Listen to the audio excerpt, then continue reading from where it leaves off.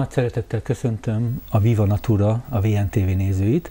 Önök egy új sorozat egyik első adásai közül válogathatnak, a Magyar Természetgyógyászat Arcképcsarnoka címmel.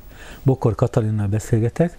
Szerbusz! Szerbusz. Régóta ismerjük egymást, ezért bocsánassanak meg a tegeződésért, de ugye nem tévedek, hogyha azt mondom, hogy a magyar természetgyógyászok között, akik ma regnálnak és segítik az embereket, talán te vagy, aki a legrégebb óta segíted az embertársainkat. Szeretettel köszöntöm a kedves nézőket. Lehetséges, hiszen én még Ola Andor bácsival kezdtem 23 évvel ezelőtt. 23. 24 évvel ezelőtt. 24 évvel ezelőtt. Akkor tényleg ott voltál a Magyar Természetgyógyászat újbóli bölcsőjénél, mert azért tudjuk, hogy a, az aranyasszonyok, javasasszonyok, a füvesasszonyok azért évszázadok át ellátták ezt a, a feladatot, és mindjárt csapjunk a közepébe. Szerinted mi egy természetgyógyásznak a legfontosabb ismérve jellempróbája, kisugárzása, amiért ő azt mondhatja magáról, hogy a természetet szolgálja az emberekért? Hát én érzésem szerint egy empátia, egy beleérzés szükséges. Mikor eljön hozzád egy beteg, azt kell érezze, hogy te minden a idegszálladdal őrá figyelsz. Hogy átérzed az ő fájdalmát, az ő betegségét, hogy minden szavát figyelemmel kíséred. Nekem belesújkolták Brazíliába fejembe, hogy a legnagyobb vizsgálat a kikérdezés. Hiszen a beteg tudja, hogy eddig így éreztem magam, és ilyen változások vannak az életemben, a szervezetemben, és a többi, sőt.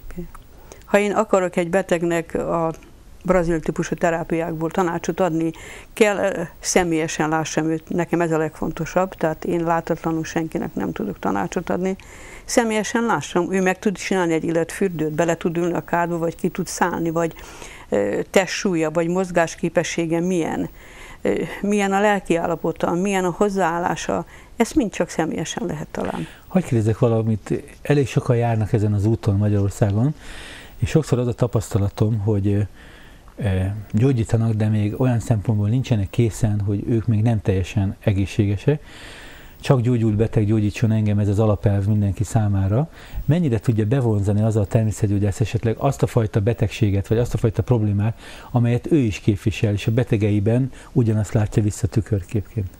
Sokkal jobban tudja átérezni. Ha ő már átélt valamit, átélte a fájdalmat, a betegséget, átélte a gyógyulás e, időtartalmát, fájdalmai csökkentését, csökkenését, stb. sokkal jobban át tudja érezni. Hogyan, hogyan tudja magát fejleszteni egy természetgyógyász? Ugye, mint általában az orvosok egyre újabb pirula felhasználását gyakorolják, ugyanakkor maga az empatikus készség az pontosan az ő tevékenységükből nagyon hiányzik, ugyanakkor mi nem előre nézünk, hanem visszafele nézünk a tradicionális ősi gyógymódokból, és abból merítünk mindig újabb és újabb dolgokat.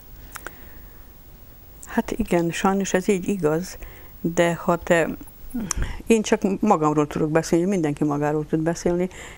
Hatodszor tanultam járni, de 26 éve gyógyszermentesen élek. És minden, akármilyen probléma kerülne elő, rögtön tudom, hogy mihez nyúlok, mit csinálok, de azt csinálom. Ez a csodálatos, bocsáss meg, megszakítottalak, mert azt látjuk, hogy a kor előre haladtával az emberek egyre újabb orvosokhoz mennek el a problémájukkal, és az akkor látja el jól a beteget idézőjelbe, ha egyre újabb adag gyógyszert ír föl, és akkor reggel egy marék gyógyszerrel kezdi már az ember az életét. És ide vonatkozóan van egy kérdésem. Ma egyre több kereszt hatás van a táplálékokban lévő mérgek, a gyógyszerek mellékhatásai, és igazából ott van egy új típusú betegség, és egyszerűen nem találjuk a forrását. Te hogy, hogy kezded ezt a problémát feltárni? Először is én úgy érzem, hogy vannak betegek, akik úgy gondolják, hogy akkor gyógyulnak meg, ha minél többféle gyógyszert szednek. A legnagyobb probléma az, hogy az emberek soha nem gondolnak arra, hogy nekem kell tennem magamért. Ők azt gondolják, ha a doktor bácsi kiírta azt a gyógyszert, ő átvette a felelősséget, hogy én meg fog gyógyulni. Pedig hát szegény ő se tudja átvenni a felelősséget.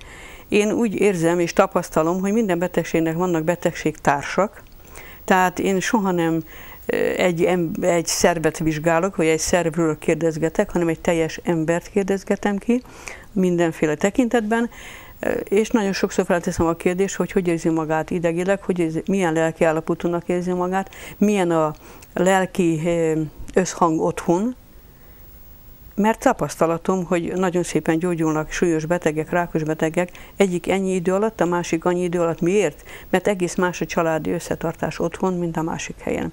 Most volt egy súlyos rákos betegem, ilyen fülmögötti daganattal műtötték, és úgy jött el hozzám, másmilyen kezeléseket nem fogadott el, és ő elmondta nekem, hogy a feleségével nem kellett megküzdenie, mert ő ott volt vele. Tehát mindent hallott, mindent látott, de amikor hazamentek, a szüleivel, az anyós apóssal, a testvéreivel, meg kellett harcolja a harcot, hogy igen, ő most agyagot fog pakolni, és nem ezt, és nem azt csinál, és nem ezt vesz, ezt vesz meg, meg azt vesz meg. Tehát igen, a legnagyobb hiba az, hogy az emberek saját magukért nem akarnak tenni, és úgy gondolják, hogy a másik átvette a felelősséget rájuk, pedig senki nem vette át a felelősséget. Hát, mondjuk okosan, hogyha ha te nem vagy képes arra, hogy megváltoztasd az életed, akkor nincs esélyed a gyógyulásra. Ez konkrétan így van. Tehát te ugyanúgy csak segíteni tudsz, de ő nélkül nem tud segíteni. Tehát. Semmit. És ugye azt amit az előbb említettél, hogy elmegy az orvoshoz, és átteszi a felelősséget az orvosa, illetve az általa fölírt szent gyógyszerekre, onnantól a felelősség a betegség kialakulásának az oka, ez nem is szerepel.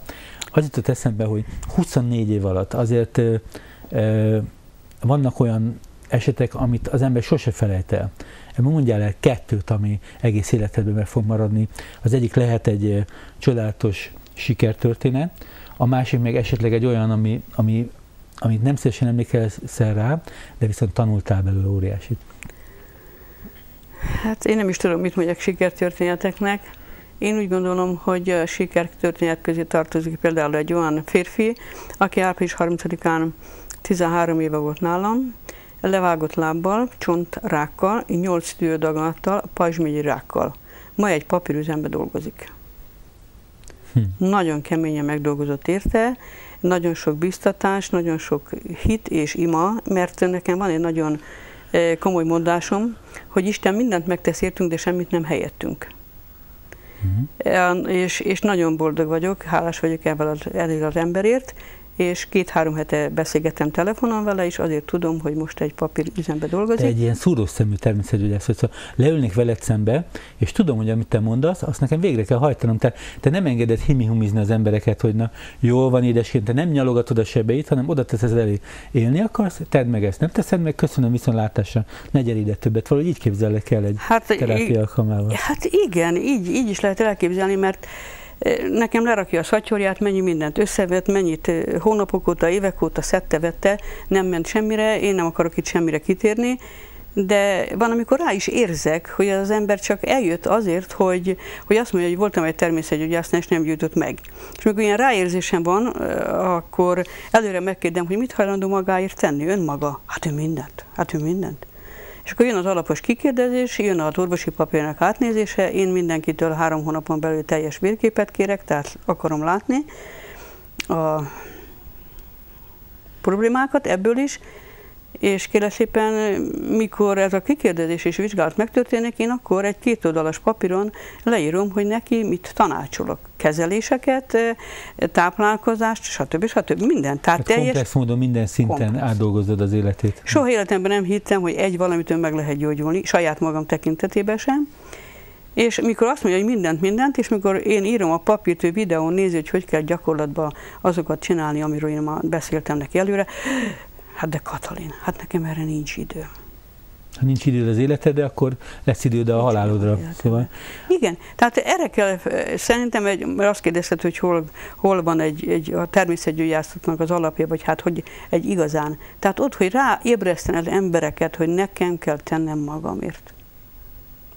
És, és én nagyon szeretném mindenkinek ezt elmondani, olyan fájdalmas nekem az elmúlt héten, volt egy beteg nálam az elmúlt héten, tegnap előtt.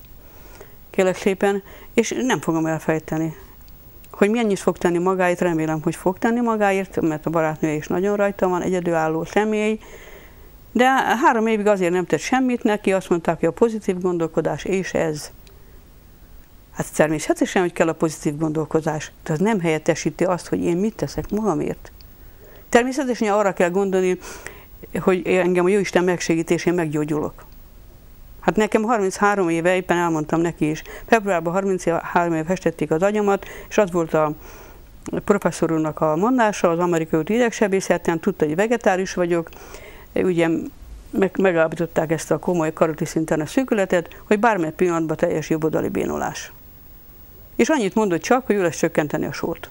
Semmit, ugye tudta, hogy húst nem eszek. Ehhez képest itt leszaladtál a stúdióba. Igen, ezzel képest leszaladtam a stúdióba. De az, hogy én abban a pillanatban elhagytam az összes legkedvesebb ételemet, ott a kórházi uh-huh. ágyon, nem, mondja Pálapostól, nem tanácskoztam testelésbérrel. Tehát én tudtam, pedig hogy honnan tudtam. Mikor kórházakba jártam, mindig kutattam az orvosi könyveket. Én nagyon szeretem az orvosi könyveket, kutatom, most is kutatom. Sajnálom, hogy nagyon sok mindent leírnak, ami nagyon jó, és nem hangzik, nem tanítják sehol például a rákos betegekkel, vagy a meddő betegekkel kapcsolatban is. Mindjárt mi beszélgetünk majd. De ezt hadd fejezem be. Igen. Tehát az embernek rá kell döbbenteni, az én helyettem senki nem fog tenni semmit. Uh-huh. Nem lógatom a fejemet, hát soha nem ülnék autóba, ha én arra gondoltam volna, hogy én lebénulok. Vagy nem ültem uh-huh. a repülőre, hát mi lesz, ha ott bénulok le? Mert azt mondták. Uh-huh. És 20 évekig hallgattam a MÁV kórházba, Csont TBC, hát ilyen nincs. Van, akkor ebben a betegséggel meg kell tudni élni, szenvedni lehet, ez egy állapot szokjon hozzá. Hát én mondom a betegeimnek, ne szokjon hozzá, tegyen magáért. Uh-huh. És ne higgyen minden csoda dolgoknak, tegyen magáért. Elég sokszor szerepel a szabad járásában a hit és Isten. Mennyire fontos a gyógyulásban a hitünk Istenben? Nekem, nekem elsőrendű dolog. A legelső, a leges, legelső dolog. Ezért mertem megkérdezni, hogy... Hát ha én nem hittem volna 26 évesen a tolókocsiba, hogy én abból kilépek, engem a Jóisten megsegít, lehet, hogy most is ott vannék. Mert lein lógattam az óromat, és minden betegnek azt mondom, hát ugye én hatodszor tanultam járni most. Azt kell tudni rólunk, hogy én 12 éve ismerlek téged ugyanezzel az energiával, ugyanezzel a vehemenciával, ugyanezzel az életerővel találkoztam először is. Nem, nem az, a, az a másikat kenegető fajta vagy, ami egyébként jó, mert az egész életben így motyizzuk el a dolgokat, hogy megsimogatom, persze, kis betegecske vagy, majd izé, ez lesz, az lesz, és ezért az emberek nem is tesznek, mert mindig mástól várják el, hogy fölsegítse őket. Így van. Te meg azt mondod, hogy kelj fel és járj, és legyen a te hited szerint, mert ha nincs hite, akkor képtelen a gyógyulására. Igen? Mikor tavaly hazavittek a kórházba, ugye két monkóval csípőprotézis, be lehet gondolni. Mikor megmozultam az ágyon, akár, akár a kedves párom, akár sógornőm, hogy ott volt pont, hogy jaj, mondtam, nem, nem kell nekem segíteni semmit. Én fölállok szépen magam, és kimegyek a vécére, tehát a betegnek akarni kell, és, és nem tesz jót a család, mikor túlzottan kikiméli. Nem uh-huh. tesz jót. Uh-huh. Nekem kell tenni magamért. És, és, és nagyon szeretném ezt a, természetesen ezt kollégáknak is mondani. Tehát, amit mondtam, én nem egy szervet vizsgálok, hanem egy embert. Nem egy dolgot adok, hanem egy komplex terápiát. És most jön az utolsó kérdésem, és nem sok embernek fog ezt tetszeni. A mai természetgyógyászat képzés, ahogy megírják azt a kis tesztet, aztán vizsgáznak olyan speciális vizsgát, ott a bizottság előtt írásbeli tesztet, de az, hogy intuitív úton milyen módon közelítjük meg a beteget, tehát az a fajta módszer, ahogy te látod a betegeket, ez mennyire van jelen a jellegi természetgyógyászati oktatásban, illetve a ma avanzsált, a ma végzett természetgyógyászok között mennyire tapasztalod, hogy ezt az utat járnak, amit te jársz? Hát én őszintén legyek, hogy én nem sok ma avanzsált természetgyógyászokkal találkozom. De azt elmondhatom nagy örömmel, és nagyon nagy örömmel, hogy januártól tartottam egy tanfolyamot minden második vasárnap, és orvosok, jogászok voltak közte, de olyanok is voltak, akik járnak a természeti egyetemre, és mégis ide is jöttek, vagy már elvégezték, és én is föltettem a tesztkérdésbe ezt a kérdést, hogy hogyan viszonyulsz a beteghez, és mi a legfontosabb. És hogyan kell hozzáállni. Tehát ez, ez nagyon fontos megtanítani, nagyon fontos az a beteg érezze, hogy ő azért jött ide, hogy én segíteni szeretnék neki, nem helyette tenni valamit. És nem mhm. csoda, én állom, bocsánatot kérek, hogy elnézést, de én a könyveimen kívül sose adtam le semmit, pedig nyugodtan mondom, hogy mindenki, nagyon sokan ostromoltak vele, de ha nincs tapasztalatom benne, hogy merjek én érteni. Szóval nekem ez az elvem.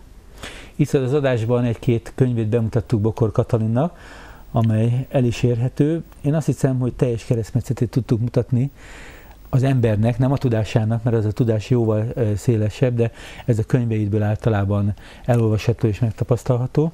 Én nagyon megköszönöm, hogy el, eljöttél ide, és szerintem aki erre az útra akar lépni, és már pedig egyre több fiatal választja azt, hogy ott hagyja a sztár állását, és képes újból alázattal a természethez közelíteni.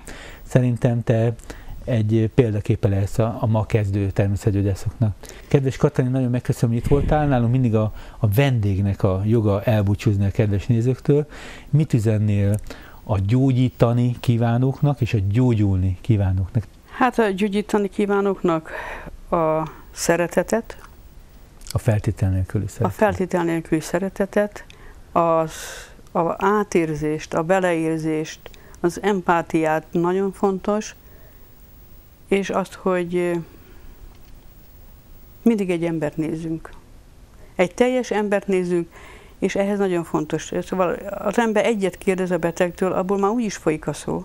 Tehát te látod azt, hogy igenis neki milyen a, az otthoni állása, az otthoni viszonya, a szeretete, a lelkülete, ön, ő önmaga milyen. Például egy nagyon rossz emlékem, hogy hiába könyörögtem tizen ezelőtt egy jó járni tudó még szklerózis multiplexesnek, hogy békülj meg az anyukáddal, így nem lehet meggyógyulni gyűlölettel a szívedbe. Ma már ki van pócolva keze lába, tehát a betegnek saját magának is föl kell ébrednie, hogy ilyen gyűlölet lelkülettel a gyógyulásnak saját maga fogja a gátját ö, odaállítani. Nagyon szépen köszönöm, hogy itt voltál. Közösen tanultunk tőled, és remélem, hogy nagyon sokáig tudott támogatni embertársainkat, és magadra is nagyon vigyázz. Köszönöm szépen. Önök a VNTV korábbi adásait a www.vntv.hu weboldalon, vagy a megosztó portálokon találhatják meg. Viszontlátásra!